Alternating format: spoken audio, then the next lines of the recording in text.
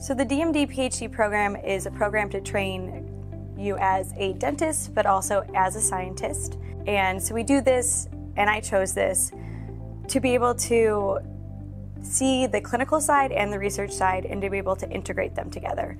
And this is a good experience because the young young folks are trying to learn from the seasoned people in the lab, the different protocols, the different ways of doing the experiment, and uh, different ways of expressing things. And then being in a dental school setting, it's even more important because they get to relate to what their clinical experience is. They see patients and they see exactly the tissues that they are looking at in the lab. When I came to UIC, I met with Dr. George and talked about, you know, how we could take my background and her background and, you know, form a project together.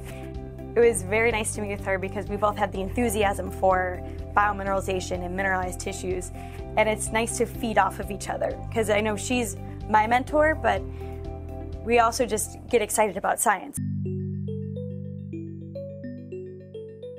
What Annette is trying to do is to look at one part of the molecular mechanism, how GRP78 in these when treated with these periodontal ligament cells, uh, how does it differentiate into odontoblast or could we regenerate the alveolar bone? And if it does regenerate the alveolar bone, it's very important because there are several cases people lose their jawbone either in combat or in oral cancer. And so, if we can have this periodontal ligament cells and GRP78, could we have a therapy to regenerate lost tissues? My research project is helping to change you know, the future of oral health by finding new ways to regenerate tissues, and especially hard tissues.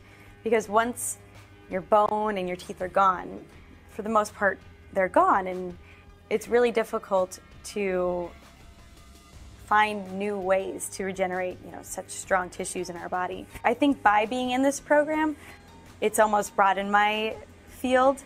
Whereas when I first wanted to become a dentist. It was just, you know, be a dentist and work with patients. But now I have the ability to do both.